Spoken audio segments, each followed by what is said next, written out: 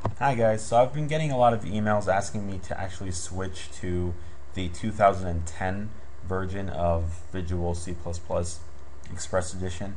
And that's what I'm going to do because I actually tried it out and you know it, it's really cool.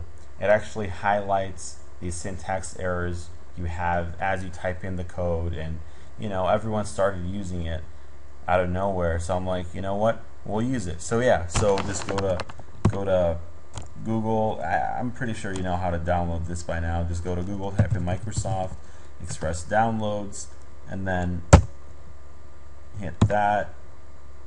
And this will take you to this screen. And then all you got to do is pick Visual Studio 2010 Express. You know earlier we chose 2008 now well 2008 was kind of colorful and nice and everything but now it's all blue so that's that's cool.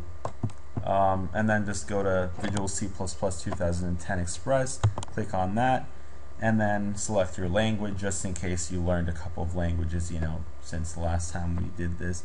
But for me I, I haven't learned anything else so it's going to be English.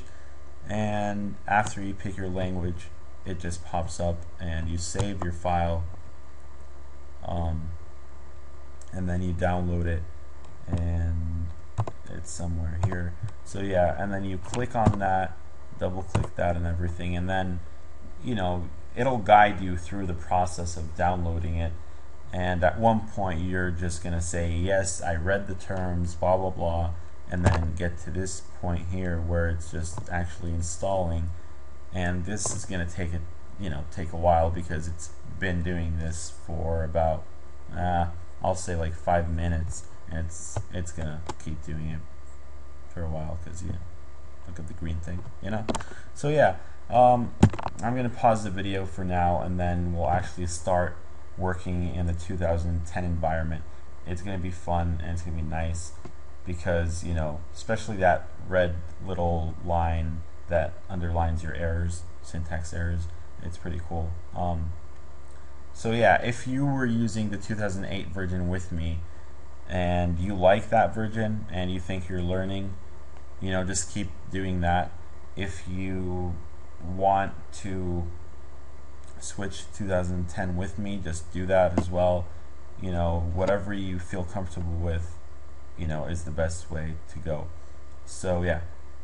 Another thing is that you have to register this version just like you had to register the 2008 version it's free. You know you just have to um, register it within 30 days. Uh, they just give you you know a free registration key. And you just hit on instructions here. And you basically you know are able to read through it and register it. I'm not going to register it right now because I just want to get this video done. So yeah. So I'll pause it right now and I'll, I'll turn it back on once the installation process is over. Okay. So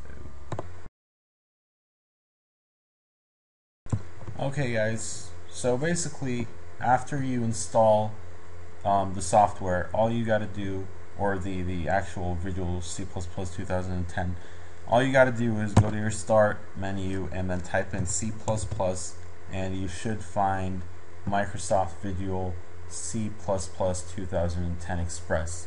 Now I had already deleted my old 2008 version. Um, if you haven't done that, it'll it'll show up as well. Pick the 2010, click on that, and it'll take you here. Now, all you got to do is go to File, or actually just go to New Project right here. Click on New Project. Of course, you can also go to File, then New Project, something like that. Um, it's really simple, same thing, just different. It looks cooler. Um, you know, click on Win32, Win32 console application, and then fill in a name for the actual project and call it um, project one. Okay, and then hit OK, and then click next. Empty project so we've done this already. It's really the same thing. Nothing that different.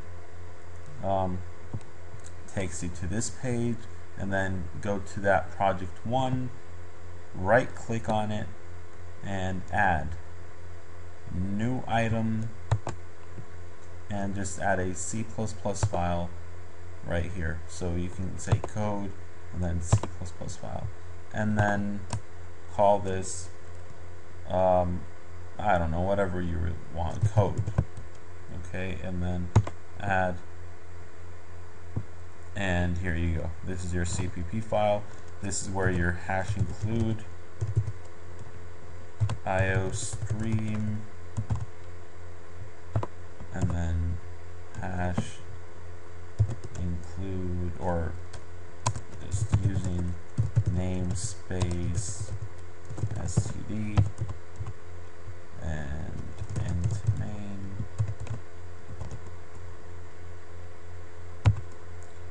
and then open up the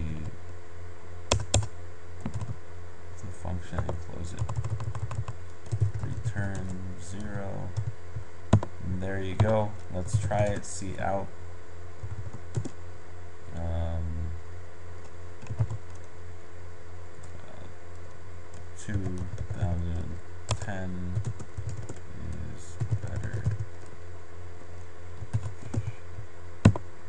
Okay, and let's and the way I want you guys to do this when when you want to run it, just hit Control F5. Okay, Control F5, and yes. So basically, Control F Control F5 is equivalent to hitting Start without debugging in the 2008 version. And there you go. You see 2010. Okay. Next time we're gonna go back to talking about our while loop and maybe introduce the for loop and then go from there.